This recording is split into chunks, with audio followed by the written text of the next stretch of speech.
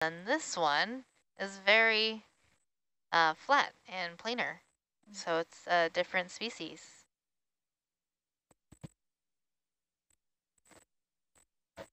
It tricked me. I Oh, thought I- it was something else.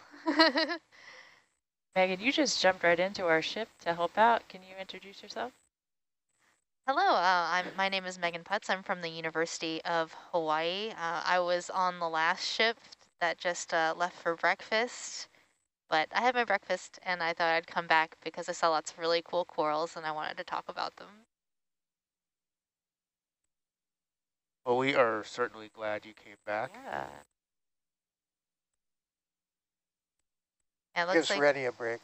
we have a few more hours left in our dive before we leave bottom, so, you know, got to get my coral time in. Do we have an estimate of the number of sponges and coral that are already described or known from this area? Um, I I don't have a number off the top of my head, uh, but we do have a deep sea animal guide, and that will show you how many things that we've found that are unique in the Pacific that we got nice imagery of. And there are over 5,000 photos in the guide currently, so that's Wow. quite a few. Um, you do have some repeats of uh, different animals just so you can get uh, idea of how things look from different angles, um, different individuals. Uh, sometimes you get a nice good zoom that'll show you some details that you might not have seen earlier. So it's really nice to have a lot of different imagery. Is that a Walteria sponge? It is. So I'm slowly getting it. You and got what about it. that? What about the the fan thing on the top of the rock? This one, Yeah. that's a Bathypathes. Bathypathes. Pathy, Pathies. That's a great name. Mm-hmm. Those are the black corals. Yep, that is a type of black coral. You do a partial on the Bathypathes there, Dave? Can you explain to our viewers why it is black a black coral? So black corals get their name because their skeleton is actually black. They make their skeleton up of a protein, and um, if you were to remove all the living tissue from it, it would appear to be black. But black corals come in a lot of different colors when they're alive. You see them an orange color like this Bathypathes, sometimes bright red. Other times the tissue I is uh, translucent or white. It really just depends on the species. So you see a lot of variation in color within the black corals.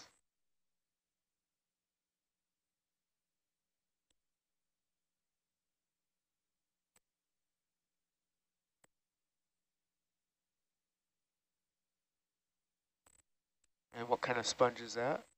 That is a Tretopleura, sort of a leafy sponge. It's in the order Sceptrulophora.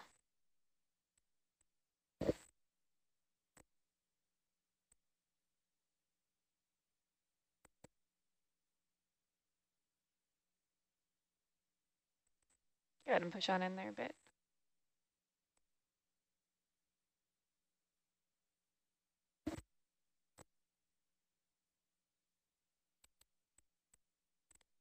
These are quite common at these depths on seamounts in this area. So we've seen a number of Tretopleuras near the end of this dive. Wide, please.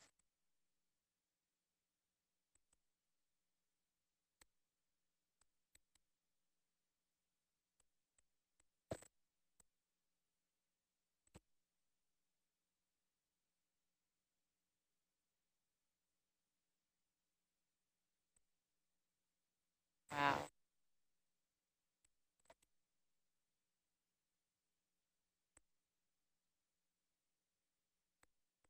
It's definitely got a bit spongier over here. But we have a lot of chrysogorgia coral. I think that's probably the dominant coral in this community right here. Lots of chrysogorgia.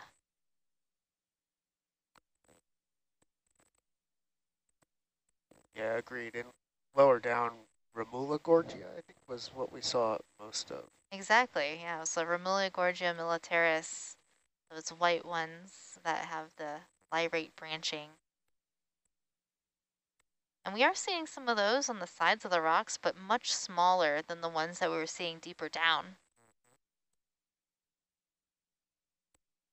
Some of our viewers are uh, surprised that sponges are animals. Can you give us just kind of a quick overview definition of what a sponge is? So sponges are animals and, and not plants, even though they look sometimes like they could be plant-like. Uh, they are animals because they um, have cells, they're made up of cells, and they reproduce, and um, those cells work together in the form of a body. So that's what makes them an animal, uh, even though they are sort of considered a primitive form of animal. Now, don't tell that to sponge uh, scientists. They, they might get a little offended. Sponges can, you know, as you see, there's so many different forms. Um, they're absolutely gorgeous. Uh, there's a lot of variety in the forms that these sponges can take, and, and they have the ability to change their body form to fit their environment. Um, it's a little more plastic than you might uh, see in some other animal forms. So, you know, one sponge doesn't always look exactly like another sponge. For example, that Atlanticella that just went by, uh, we looked at one, you know, not too long ago. It looks similar, but not exactly the same in the same way that, you know, people will look similar, but they're not exactly the same. So they're very, they're very interesting. How uh, common or rare is it for sponges to be recorded in the rock record? Do we have a, a knowledge of, from fossils of, of older sponges and how they've changed through time? Um, I think it's relatively difficult for sponges to fossilize just because of uh, soft body. How yeah, how soft they are, uh, and the types of materials they're made from, especially like demosponges that um, they're not necessarily have all those glass uh, spicules, but I do believe there are some fossils of uh, glass spicules. Mm -hmm. Here's a fun little fish. Oh, yeah. It looks like a halosaur. Yeah, that's what we've been seeing at the upper parts of the seamount. This is, at least for this watch, the third one we've seen, perhaps, or yeah, so there there are two different uh, genera that I know from this area. Uh, you've got Aldrovandia and Halosaurus, and Aldrovandia does not have scales on the tip of its nose, and Halosaurus does have scales on the tip of its nose. So as we zoom in, you might be able to see if there's scales there. Oh yeah, I, th I think I do see scales. That makes this fish Halosaurus earlier um, when we were deeper down, we saw an Aldrovandia, likely Aldrovandia phalacra. Um, that one did not have scales, but you can see that dark color right here at the tip of the nose. Definitely scales there. What would be a common name for these halosaurs? Come forward there, please. Um, we call them halosaurs. Um, kind of means a deep dinosaur kind. Yeah. We're going 160 now. They kind of look like like little dragons to, to me. Yeah, they got their so cool. like snake-like body and uh, the way their pectoral fins kind of those are those fins on the either side of the body. Hmm. They stick kind of up and back like little wings. And they have that um, eel-like body form is really useful for efficient swimming. So that saves on energy. And what would their diet be in this area? Um, they're likely feeding on small crustaceans. What's, oh, there was like a little floaty in the water. Not really sure what that was.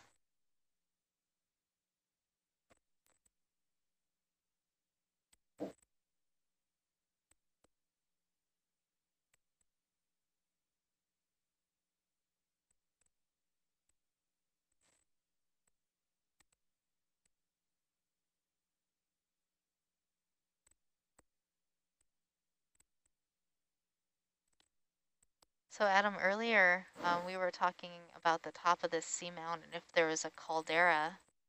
Uh, what do you think?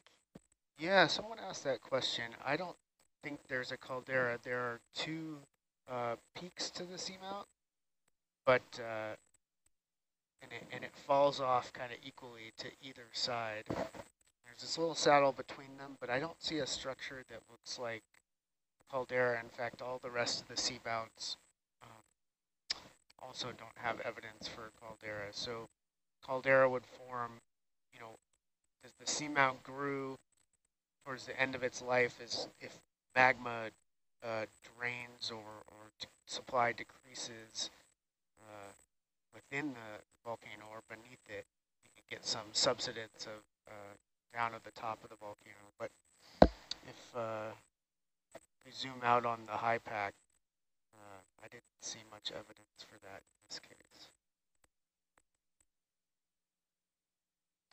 Sorry, Adam, we were just talking about off bottom. I think they wanted to zoom out on HYPACK there. Sorry, say that again? You're talking about HYPACK just a minute ago? Oh, yeah, if you could zoom out a bit. Yeah, uh, sorry, we were, uh, Zoom way out, yeah.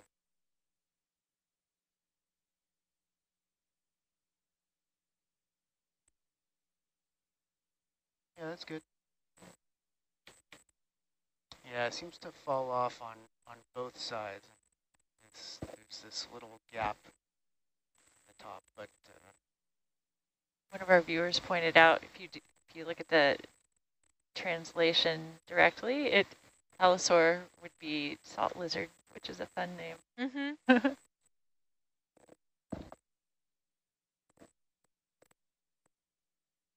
Lizard of the sea.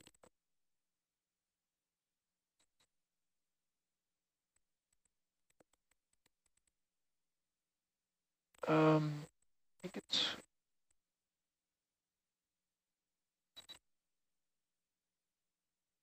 three and a half. Yeah, it's been holding. So it's got to be a very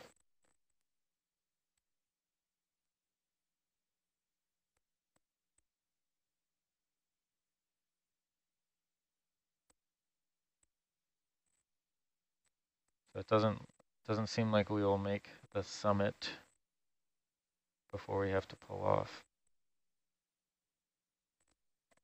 Randy, did you suggest 9.30? Thinking about it, I think we can pull up at 9:45.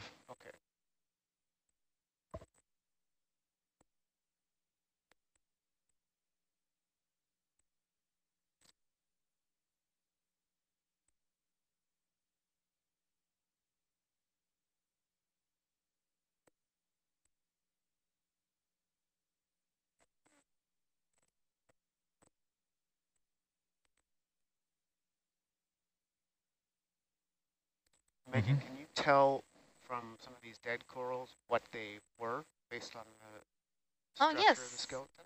Yeah, I can usually tell what they, they might have been, um, maybe not to species, but um, to family. So some of these dead corals that we're seeing are bamboo corals in the family Keratoisididae. And then also uh, a lot of the dead sponge stalks that I'm seeing around are likely the Tretopleura that we've been seeing. It's the leafy, leafy sponge. Yeah, that leafy sponge. And then much earlier in the dive when we were deeper down, we were seeing those really big, huge skeletons of uh, dead sponges. And those are likely uh, or at least in the family. Farreidae.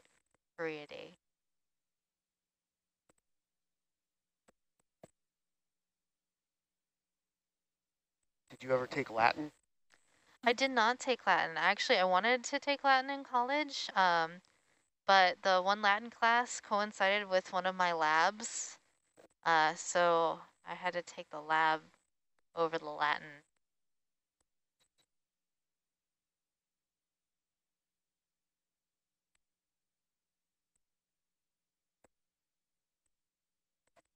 Any idea why we use Latin for naming organisms? Um, Tradition? yeah, it's, I think it's just tradition at this point. Um, but nowadays, uh, sometimes when we come up with new names, they're not always uh, exactly Latin names, especially when it comes down to species names. Um, sometimes we name them after uh, a person who's done a lot of work in the field. And so a lot of species names might actually be a person's name that's been modified to sound Latinized to Hmm. fit with uh, the rest of the pattern of the, the naming convention.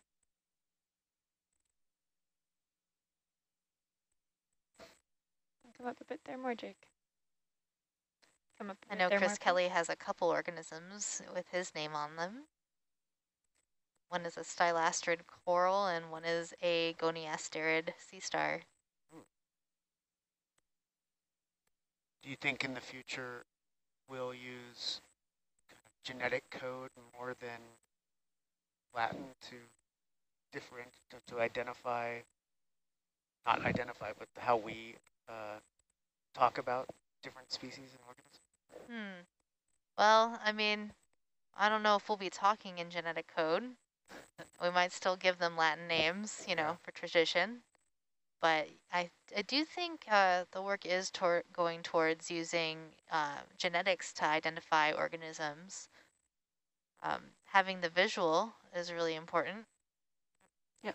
You want to look at, Can we zoom in on, on that one right there? yeah, that one is a, another Bathypathes, but a different Quite- species from the small ones we were Yeah. seeing. Bigger, different color.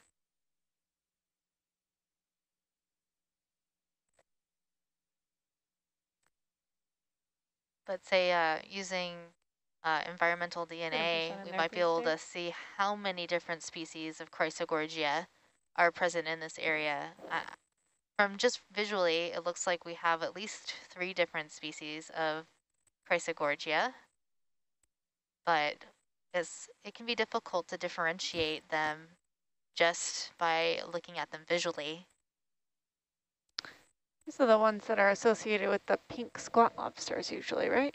Yeah, yeah, those little pink squat lobsters that have thing? uh, spikes all over them like to hang out in these uh, black corals.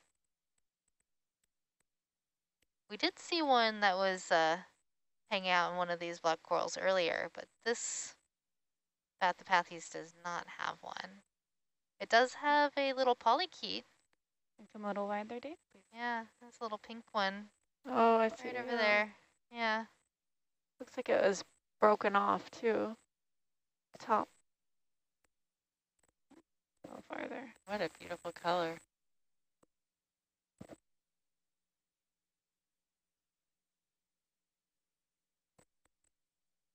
Do you know the name of that sponge in the lower right, Meg Megan? This one? Yeah.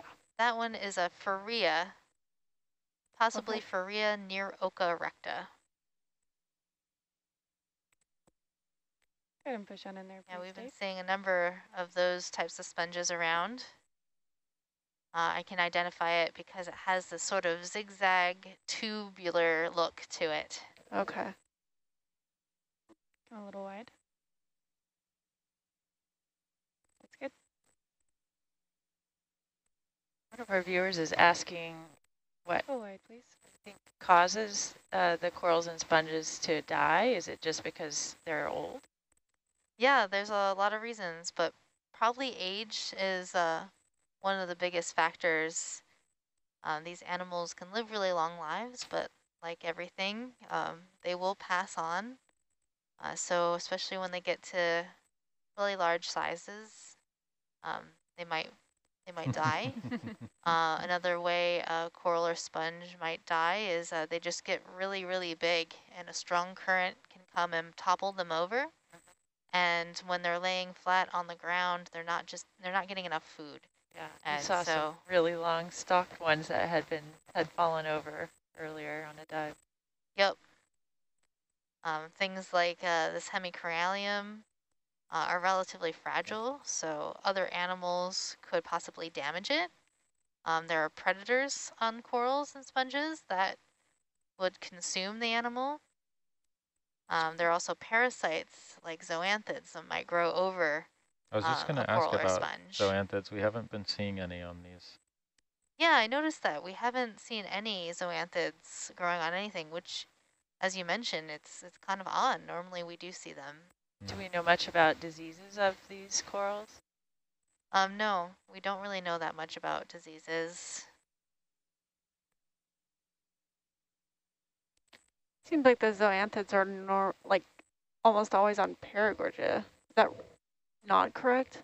Seems like it's me, Um, but Yeah, I think some of the zoanthids are species specific, okay. growing uh, on Para uh, Gorgia. So like the Bullagummizoanthus uh, will go grow on the bubblegum coral. Okay. That's where that Bulligummi comes from, bubblegum. Um, so that's a yellow zoanthid that grows on Paragorgia, but we do have zoanthids that grow on the hemicoralliums.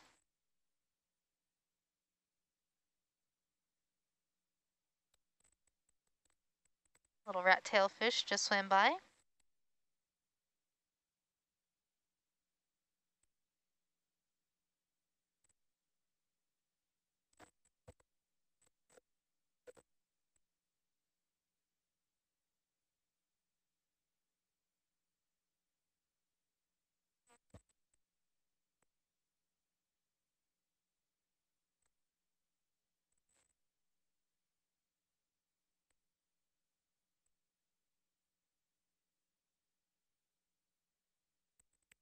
One of our viewers was asking about how much human trash we find on this deep dive exploration, and we have found a few items on this dive and the dive before, the first dive of our expedition.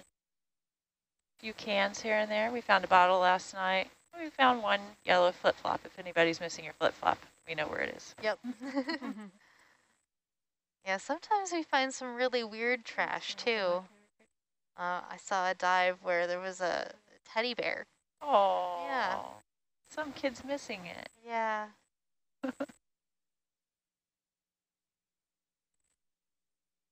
but we're really pretty far away from any sort of civilization, so you'd think an area like this would be pristine, but nearly every dive we do, uh, there's some sort of human impact that's observed. I think most of it in this area would be from cruise ships. It could be. Um, it could also be just because we're in the middle of that Pacific garbage patch where um, a lot of the garbage that goes into the ocean gets concentrated due to the currents. And so these things might fall down um, to the, the seafloor because of that. Is that a soft coral uh, center left? Uh, this this one? Yeah. Yeah, that is an anthomastus. Anthomas.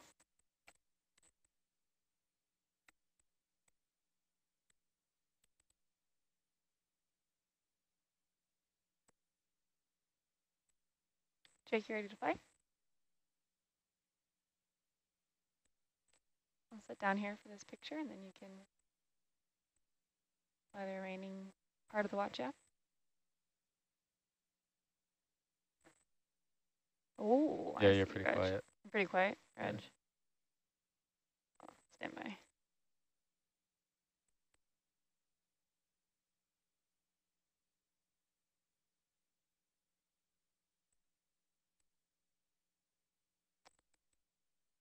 Go ahead, Dave, and push on in there, please.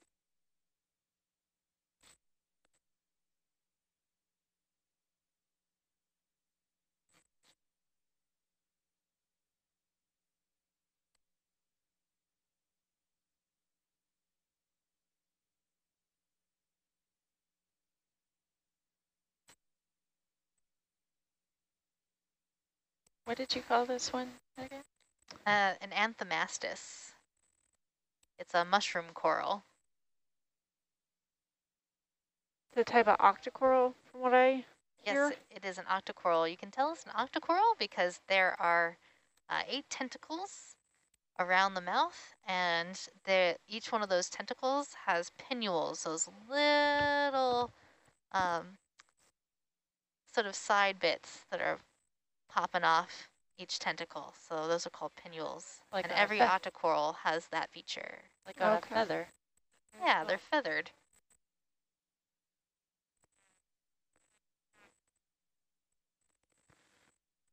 All right. Come on, Dave.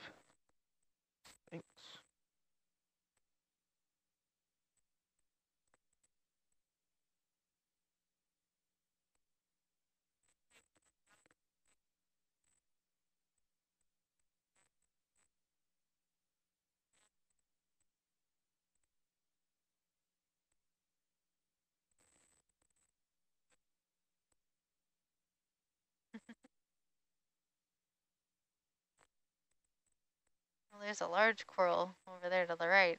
Saw the shadow. Uh, we yeah, talking about You're gonna have to boogie What's a for bit there, lunch? Jake, though. Yeah, that's a nice big Jasonisis bamboo coral.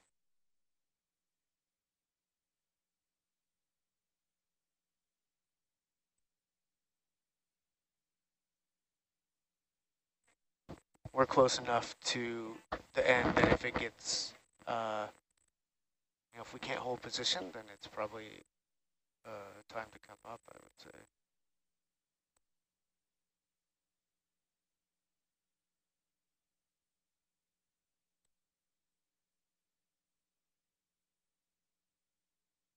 Right, and we're not going to, you know, where we go from here for the next 30 minutes is not a huge deal because we're not going to make it to the summit. So we'll just find that gold-bearing shipwreck and be on our way. We'll just get a glimpse of it in the distance and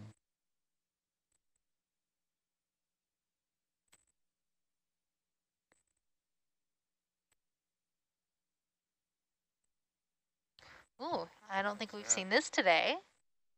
is that a Umbellapathes? You got it. Nice.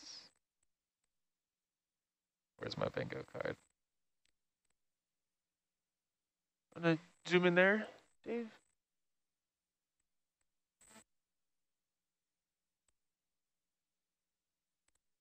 So is that like a branching fan? Or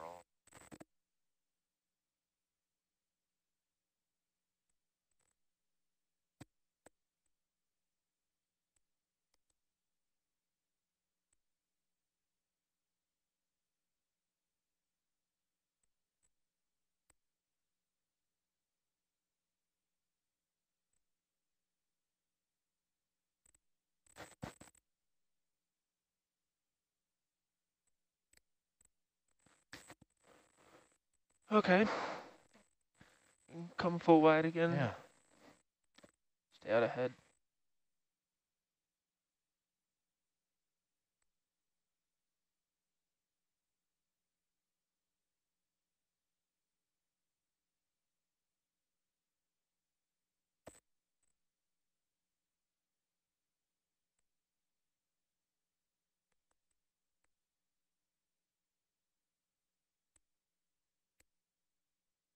All right, I had a question about samples. Are we all full up or do we want to? Uh, yes, except for our push cores. Okay.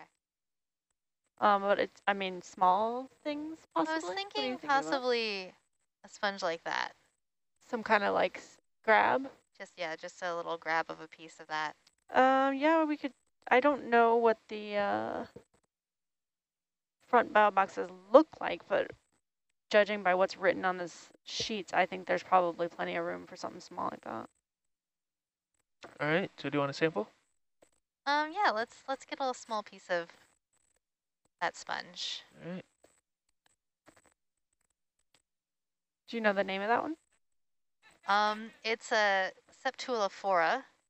It's in the order Sceptrulophora. Uh, that's about all I know about it. Okay.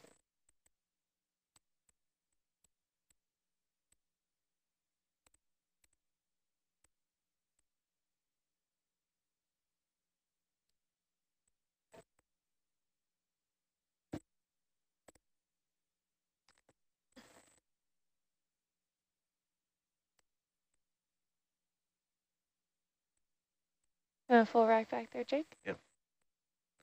And I hear we have some floaty bits in the toolbox up forward, yeah? Um, that was not passed on to me. Huh, that's new. This guy Raj. happens sometimes. Yeah, there, there's a Thank you. cucumber in there that could get, you know, a little feisty. Roger. We got two cucumbers in the starboard side. Oh, Yeah. Yeah, we'll do this quick. Um, Yeah, this is gonna Gonna be a a little crunchy one, little. just so you to know. right, I mean. Little crunchy, Raj. Nothing's in with the wooden stick. Can we put it with the wooden stick? Oh yeah, let's put it All with the let's stick. starboard B. All right, uh, go ahead and look. Is this a glass centered sponge? It is. Go ahead and push it on there, please. Bit there, Dave. It Quite a looks like bit. it's It's a glass glowing. base. Yeah. It's a bit of Looks loss. perfect for my dining room table. yes. All right, how do we want this? You want to look a little up there, Jake? Do we want the bouquet or we just want a little edge of it? Um, whatever you think is easiest for you to grab, just know that it, it's gonna crunch. So it might it might be easy just sort of break off the top part. Yep, Something like this. Yeah.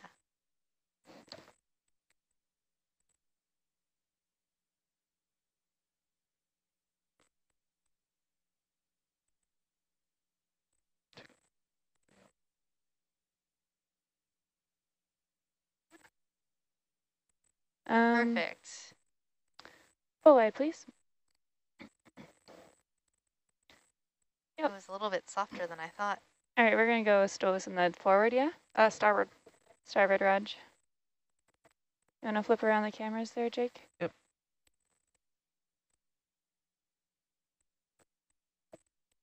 Thank you.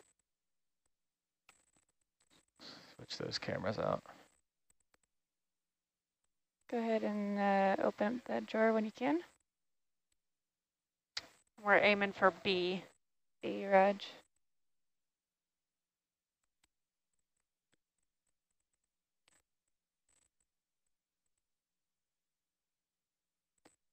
And I keep an eye on our delta there. Uh, 20 meters. Should be okay. Looking good? Yep.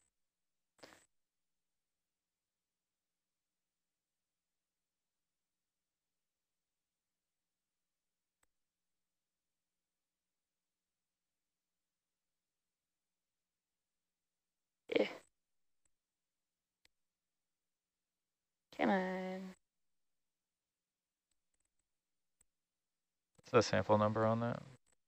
This is zero five zero. Two dives, 50 samples. Pretty, pretty decent. Glad you said that. I wrote the wrong one down. Come on. There we go.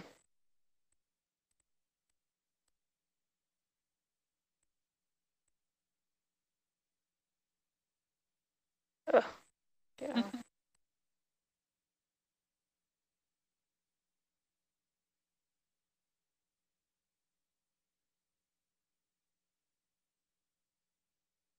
All right. Nice job.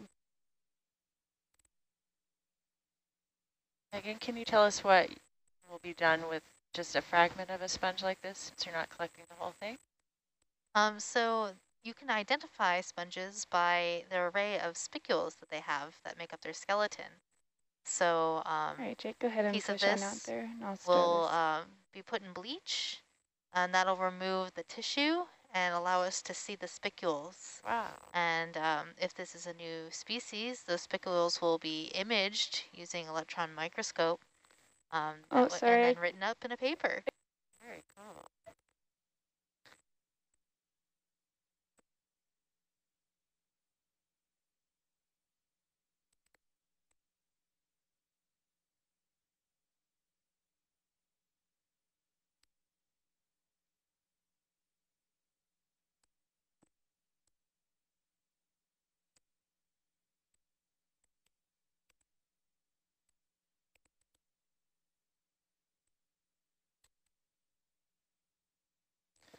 Yeah, you're going the wrong way. So what are you doing? yeah, sorry.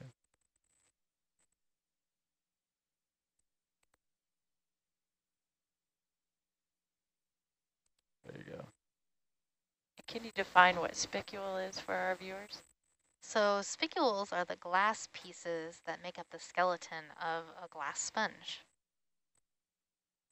It's kind of an internal support. Yeah. Um, they come in all shape, shapes and sizes. Um, glass sponges, their scientific name is Hexactinellida. hex meaning six. So these glass spicules often have six rays, so they are spiky. And are they pulling that silica out of the water? Yes. So down at these depths, um, you have very nutrient-rich water, so it's very easy for them to get the materials that they need uh, to build their skeletons. Going a little too far south there. We need to go, uh, yeah, kind of lateral over left. Can you age sponges? Unfortunately, there is no good way to age sponges. Um, But- oh yeah, there you go. maybe someone will think of a method sometime in the future. But yeah, that can be very challenging.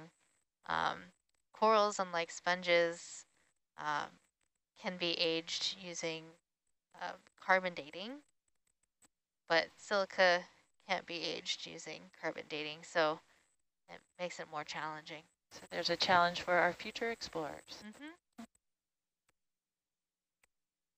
This last bit of area that we're, uh, for the next 15 minutes is likely going to be pretty flat. Unless we see any targets in the sonar. Mm -mm.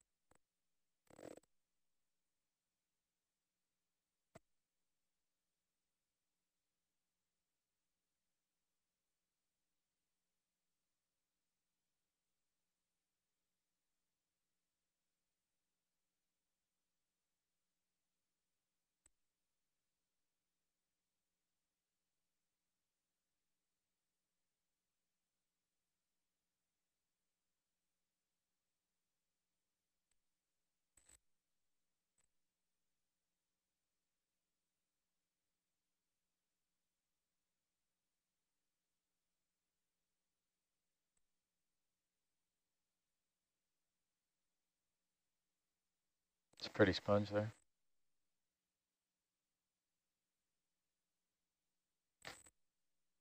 Have we ever had the situation on a dive where you find your you think your samples are full? Do you find something so amazing? Yeah, well, there have been times where uh, we couldn't sample something because they were full up. Um, fortunately, uh, we can actually take a few more samples than some of the other vehicles, um, just because Hercules size and our permitting allows us to, to, to take a few more samples than say like the, the Okeanos, which only takes a certain number. Uh -huh. um, I think originally they were only taking two rock samples, two biosamples per Oh, dive, wow.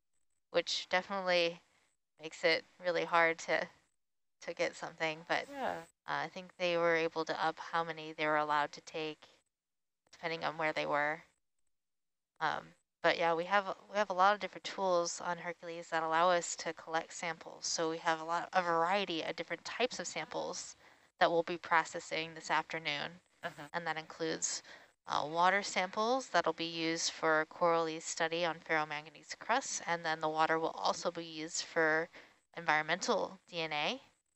Um, we have our rock samples, which will be used to help age the seamount, uh, and then um, Coralie is also looking at the ferromanganese crust. so there's a couple different uses for the rocks, and then our biological samples are going to go to scientists um, studying these animals uh, for different uses, mainly for taxonomic uses, but also um, the sea cucumbers that we picked up will go towards that uh, food web study. And that's out of University of Hawaii? Yes. And most of the biological specimens will go back to University of Rhode Island then? That's right. So yeah, these will be archived at the University of Rhode Island. Um, and students and faculty can check them out, and then guest scientists can come and, and check them out as well. Are you talking about the biosamples? The biosamples. The biosamples end up at the Harvard uh, Museum of Comparative Zoology, Oh, okay. but s- similarly can be requested and accessed by uh, any anyone in the research community. The rock samples go to URI then? Rock samples. Okay.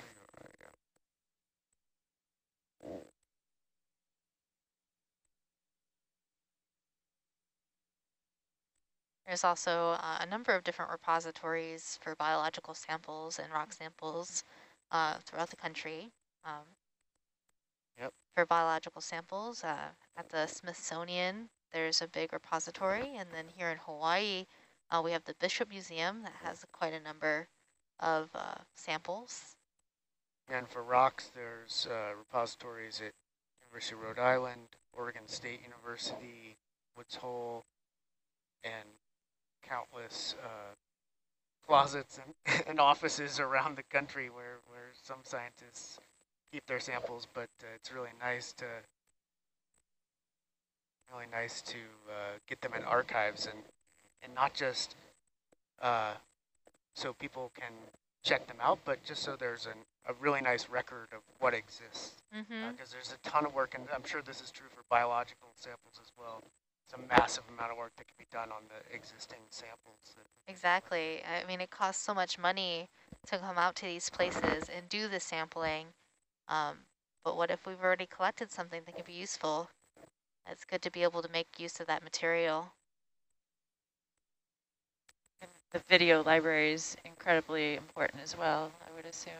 Mm-hmm. yeah, all the data that uh, that we collect, whether it's bathymetry of uh, to map the seafloor, video, and especially video with the expert annotations that that are being added here, so that you can kind of search through and say, I'd like to see every example of uh, you know this type of sponge. What's this one? That one's Rose, the rose. Oh, wait, hold on. Caulophacus. Calphagus. Oh, I don't know. no. I'm guessing. Something that starts with an R. You- It starts with an A. An A. It's the magnificent alien. Oh, Oh, really? The ET sponge. Oh, that's the ET? That's I believe that's the ET sponge. All right, I can't tell my cool. sponges apart.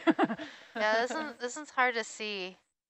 Uh, Okay, so but say it you should have those two holes on the back side and then the the big ET opening on the front side. So we're seeing it from the back. Ah, But you can Oh, tell okay. that it's in that subfamily Bolosominae because the stalk is coming up on the bottom. Oh, that's the circle. Yeah, so that stalk is going into the head on top. If it was a Caulophacus, it would have that mushroom and it would go into the side. Is this uh, little orange bit? We saw we saw those attached to a couple uh, sponges, and, and there was a suggestion there was a benthic ctenophore. Um, that I think is a uh, a gastropod. Oh. But I did see a photo of that uh, benthic ctenophore that was on a sponge. Mhm. Um, that is called Tjalfiella. Uh, also on the rock there, Mhm. to the left. And I actually I think I heard you say before that Keep this is a, a, a Plume. basket star. Is that right? They are related to the basket stars, um, but their common name is snake star. Snake star. Okay. So they're actually a different trying to- family. What's that thing on the left? Is that Asbestopluma or is that a, a little black coral? This is a tell. little black coral. Yeah, oh. It's possibly Parantipathes. just don't recall seeing that yet this dive. Maybe we should just Yeah. take this rock with the. yeah. Take this whole rock. Throw it on the roof. Wait, do we have a, uh, what are the ones on the vans? The roof racks? Roof rack. Roof rack. Yeah. Roof no, rack no, we on just uh, put it on Argus. Take it up. We just need a Strap big it roll down. of Velcro. so the basket stars I've seen uh, almost look like tumbleweeds. Mhm. yeah. Yeah, and and we got a manip in to collect what we didn't know what it was, and then it got really tied up with the manip, and we couldn't get it off. Yeah, tho- those basket stars have arms that branch and then branch and branch and branch, Mm-hmm. and they can move all of those branches, and they'll just like really grab onto things and won't let go. Yeah, their arms are so long. The snake stars, their their arms do not branch, but they do have that same like really coily Yeah. ability. We have a viewer asking what happens to the sediment samples that are taken. And so what are we gonna do with the push cores that we took? Oh, yeah, great question. So um, push cores first allowed us to, to collect some of the micro nodules that we've seen as pavement in these sedimented areas. and then we'll look at the column of sediment, perhaps for the infauna, the animals that live in the in the sediment. Uh, also for kind of you do any number of things. Look at the sedimentation rate by uh, doing some carbon dating down through the sediment. Um, and I'm in particular looking for volcanic ash that uh, gets preserved in the in the sedimentary record. So are you gonna section the cores on the ship or wait until we get back? Uh, probably wait till we get back because I didn't bring a, a, set of sieves with me, but typically what we do is uh, sieve for the coarse fraction. Um, but in this first set of cores that we took, we took a, a pair. So if someone on board wants to uh, kind of use a colander and, and look for the infauna in there, um, then we'll, and they have the time to do it, then we'll do it. Otherwise, we'll just preserve them and uh, work on them back on shore. Sounds like a good plan. So I call this one the macaroni or valve sponge. what is its actual name? It's called Farrea neuroca recta. Okay. Is that the same? Is that the same one we saw a while ago? Yeah, rock. it was a little bit smaller. Really? Yeah. Okay. Zigzaggy. Yeah, so the zigzaggy tubular sponge. And is there something inside where we see those? Oh yeah, there's bits? definitely something in there. Little It's shrimps or something. A little pink something. It's hard to tell exactly what that might be. It could be um, a shrimp. Uh, that's my best guess is some sort of decapod is hanging out in there. But you could possibly see brittle stars, um, other small crustaceans, polychaetes. Hey, back row. So we have about seven more minutes of bottom time, and that will also include throwing a weight. Um, just to let you guys know. Roger.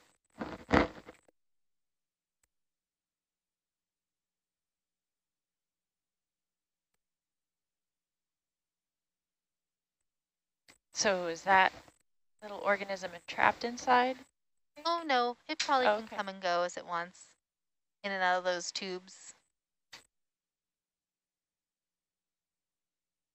Sponge condo. Yeah. Hmm. I wonder how much the rent is.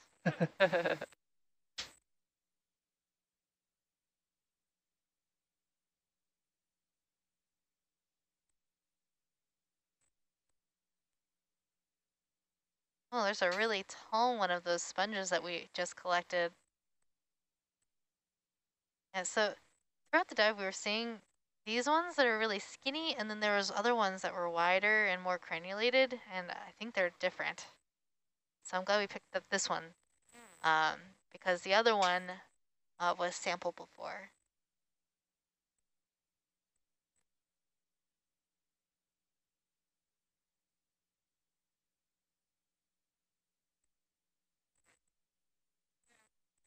So we have about five more minutes on bottom, because all good things must come to an end. But to be fair, we've we've been on bottom for nearly 24 hours at this point, so it's been a long dive. And we've got a full basket of samples uh, to process, so we've got our work cut out for us this afternoon. Yeah, the primary driver is the weather picking up. Yep, um, there's Get I on board believe is before the that. weather coming in as well, so we want to get the vehicles on board before any of that hits us. That could be really hairy. About a volcano question, Adam? Sure. All right, one of our viewers wants to know, is there an underwater equivalent of pyroclastic flow? Uh, yes, absolutely. So uh, we haven't observed many Good. explosive eruptions or Yep. from arc volcanoes in the submarine environment, but You want uh, to toss it? we have Or- looked at some Right. deposits from them, and we have, in fact, I've worked Uh, on a volcano where we have seen pyroclastic flows. Now, they're not the hot pyroclastic flows that, that you see on land, uh, because the water is very effective at cooling them off, but uh, get accumulations of pumice and ash that oversteepen and eventually go down the slope. Uh, and yeah, it's a real different environment. One of the cool things is you can get One two two. just like on land, you can get the Oh, one. fine I'm at fraction Right. of the Um, I want to go flow left. detaching from the dense fraction and, and it, that fine fraction or that ash can go huge distances in the ocean. So one of the reasons that I'm interested in looking for volcanic ash in these deposits is we know very little about how ash produced in the ocean gets distributed. We know that some of it lands on the sea surface from volcanoes on land, and that actually is kind of important in a place like Hawaii where, where it's oligotrophic. It kind of can fertilize the upper ocean, uh, but we know very little about it in the deep ocean. Can you tell a difference about the origin of ash? Yeah, to some extent, by looking at its chemistry, you can get uh, a sense for its provenance, but uh, you would you need to have enough of it to be able to look at some of the kind of rare components in it, the radiogenic isotopes that give, give a true kind of fingerprint for where that the ash came.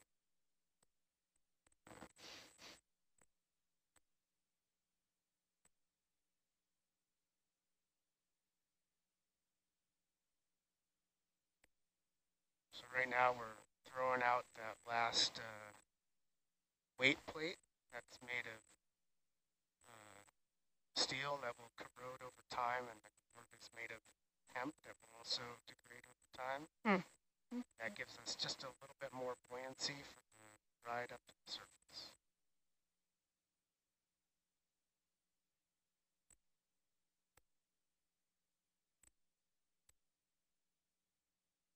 How much does that plate weigh? I think it's 16 pounds in air.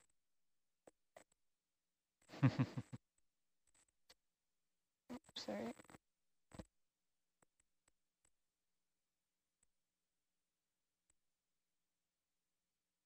yeah.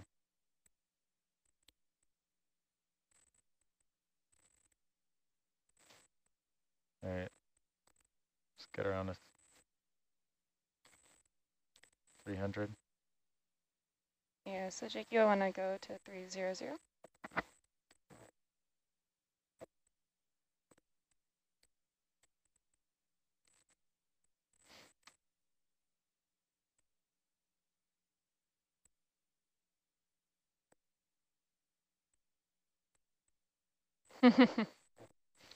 That's not what we're doing. And we'll check the wraps. Wraps looks good.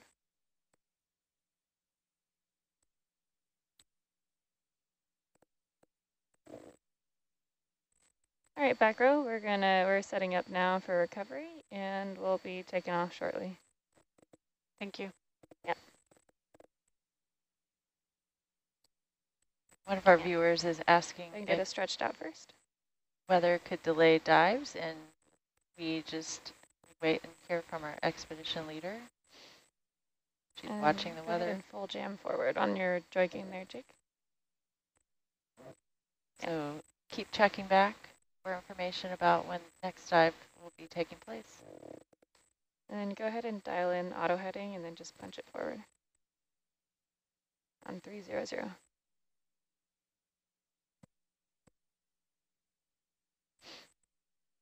Yeah, that right there is 1.2 knots. I think you can make two. 1.3.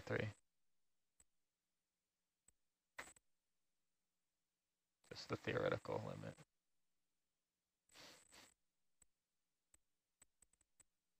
There you go. That's, Nice. that's the top. All right. So now for this guy, go ahead and stick lock a little bit forward. All right, and then you're gonna take off your Z bias and then start scrolling up for the Z bias. Go to like positive. I'll go full jam on the verts there. So just keep scrolling. Gonna Probably log like off bottom here. Roger.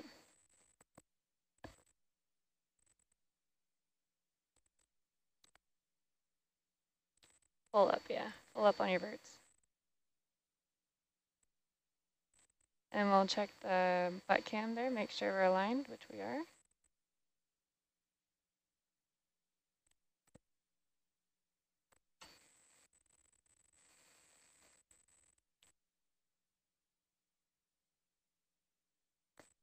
Nice. You check your utility page. Thanks.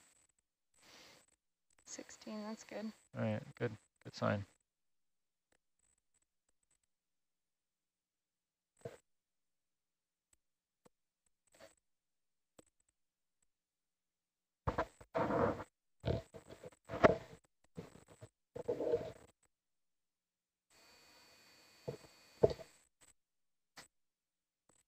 Yeah.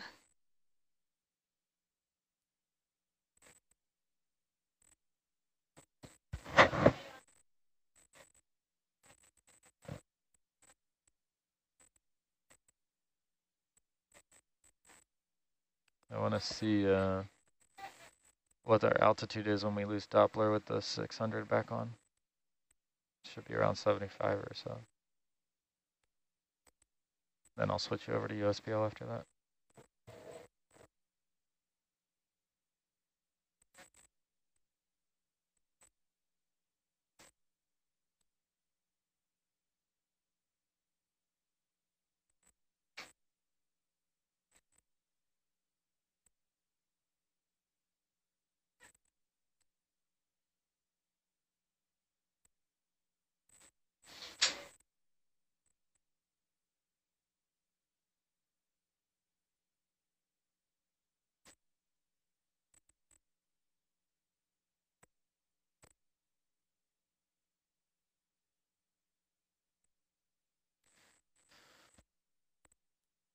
So we are beginning our ascent, but continue to send your questions into the chat.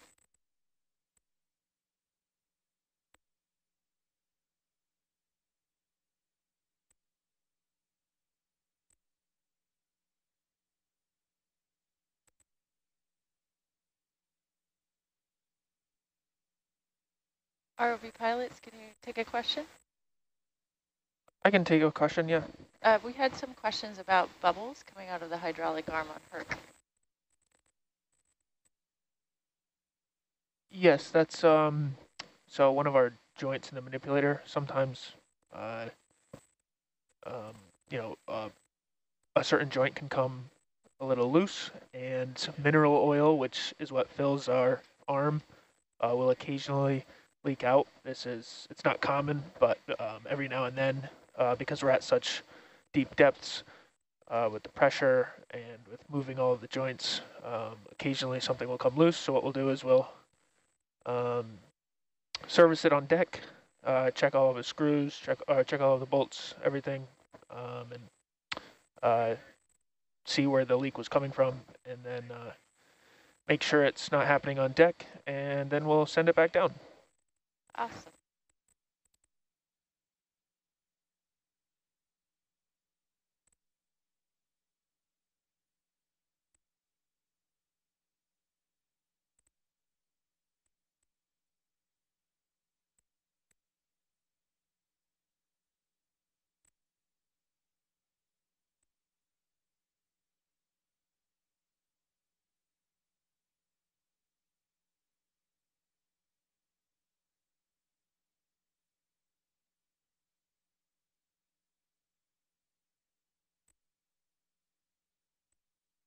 About another ROV question?